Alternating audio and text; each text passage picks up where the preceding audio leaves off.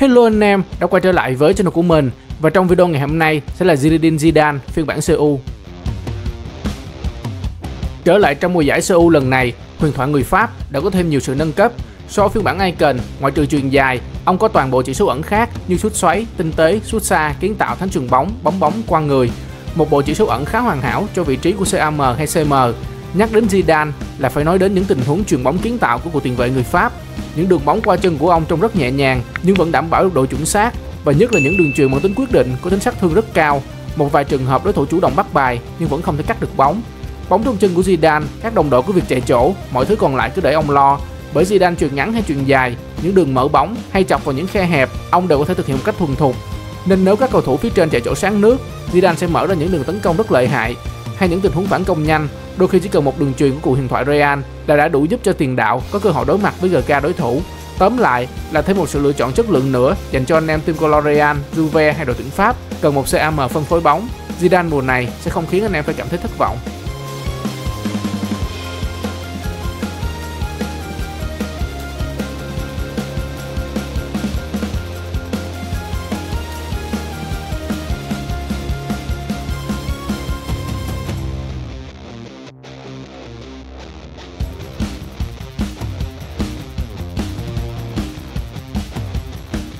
Về phần tốc độ, Zidane mùa này số tốc độ ở mức khá.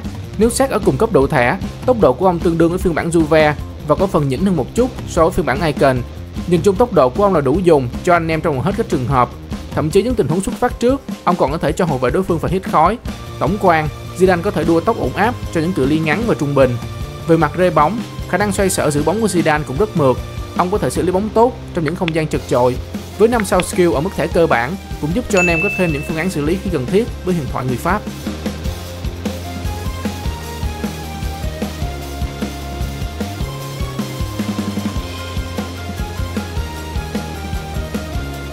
Về khoảng tranh chấp, khả năng so vai của Zidane là không mấy ổn định, lúc thấy cũng khá khỏe, lúc lại khá dễ bị đối phương đẩy được. Bù lại nhờ khả năng thăng bằng cao nên những pha che chắn bóng của Zidane là rất tốt, thế nên trong hầu hết các trường hợp, anh em nên cố gắng chạy người lên trước sẽ ok hơn. Về khả năng dứt điểm, Zidane cũng có những cải thiện so với hai phiên bản Juve hay Icon, nhất là ở chỉ số xuất xa. Mùa này, Zidane sở hữu chỉ số xuất xa 120, lần lượt cao hơn 4 và 5 điểm so với phiên bản Juve hay Icon. Cộng với chỉ số lực sút cũng cao, 117, đã giúp cho những pha dứt điểm từ xa hay những tình huống dứt điểm bên trong vòng cấm của Zidane cải thiện thêm rõ rệt, bóng đi căng hơn, hiểm hơn, nhờ đó cũng dễ ghi bàn hơn. Tuy nhiên ở những cự ly xa, vẫn còn một số trường hợp ông ZD đưa bóng đi hơi thiếu chính xác. Còn nếu dứt điểm ở sát vòng cấm thì cơ hội cho GK là không nhiều nếu không bắt bại từ trước. Bên cạnh đó, Zidane khi tấn công, ông cũng chạy chỗ và chọn vị trí khá hay, nhờ đó mà ông liên tục đứng ở những vị trí thoáng để có thể kiến tạo hoặc trực tiếp ghi bàn cho đội. Chỉ có một điều lưu ý, điều này cũng không mới, đó là tốc độ ra chân của Zidane hơi chậm, nên anh em cần ra quyết định nhanh trước khi đối thủ kịp áp sát.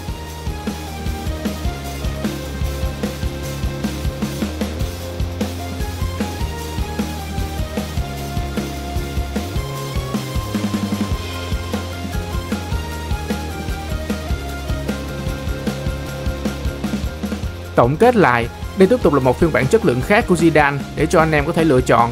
Theo mình phiên bản này vượt trội hơn cả phiên bản Icon và là phiên bản tốt nhất của Zidane tính đến lúc này. Và đó là bài review của mình về Zidane Zidane mùa giải CU. Cảm ơn các anh em đã theo dõi hết video này và nếu thấy hay hãy cho mình một like và nhấn subscribe đăng ký ủng hộ mình. Cũng như đừng quên để lại bình luận ở phía bên dưới video nhé. Còn bây giờ, xin chào và hẹn gặp lại các anh em trong những video tiếp theo.